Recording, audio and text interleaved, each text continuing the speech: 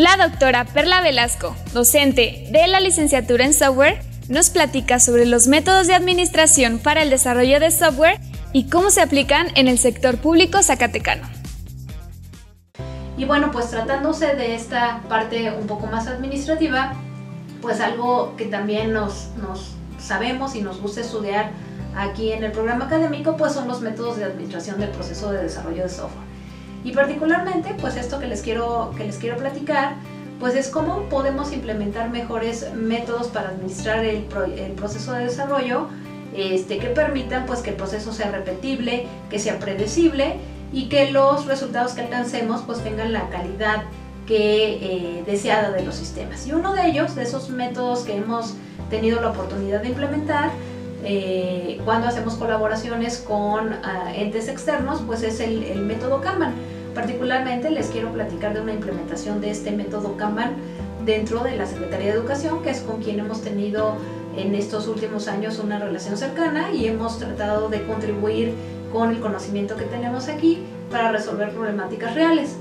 El método Kanban no es más que un método de administración de proyectos en general, no necesariamente se requiere o es exclusivo de software, se puede aplicar para cualquier tipo de proyecto que involucre la producción de productos como tal, físicos o servicios. Y si vemos que el software es un servicio eh, desde el punto de vista que lo podamos apreciar como un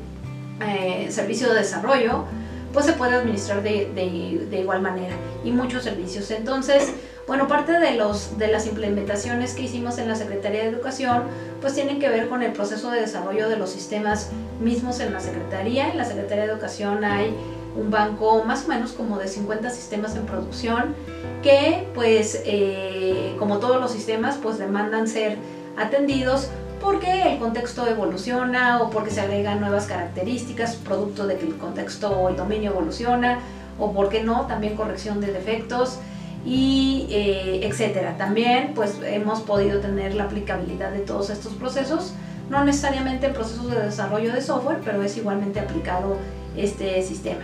Y bueno, pues mediante la aplicación del método Kanban, puedo contarles que la productividad de desarrollo en el equipo de desarrollo de la Secretaría de Educación pues pudo, pudo subir unas 10x haciéndose, yendo definitivamente en una implementación que es evolutiva incremental.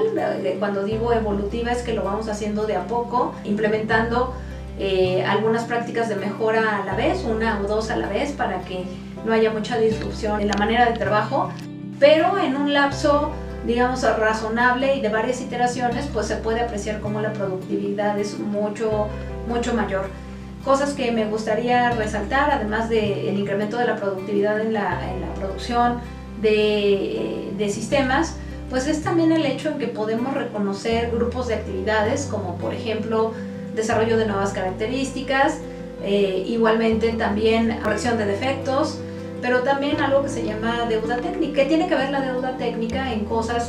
que nos, no, no se aprecian de primera mano en la funcionalidad del sistema o, o, en la interfaz del sistema, pero que sin duda son cosas que no están muy bien hechas dentro de los sistemas y que cuando requerimos hacer un cambio o alguna evolución, pues tienen impacto en qué tan eficientemente pueda realizarse ese, ese cambio.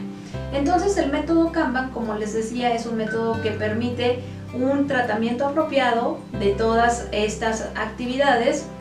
y entonces que podamos nosotros pues estar digamos más enfocados en lo que se tiene que hacer hay una buena administración también del costo del retraso de las actividades tiene un modelo que podemos usar de manera implícita del costo de, del retraso de las actividades y permite a los equipos pues identificar en qué es lo que tienen que trabajar en la, en la siguiente vez. Y pues bueno, eso es un trabajo un poco más administrativo, insisto, que tiene que ver con cómo se organiza un equipo de personas de manera eficiente para que sus resultados sean predecibles, que sean de alta calidad y por supuesto al ser predecibles, pues hay la implicación en que pueden, que pueden ser repetidos.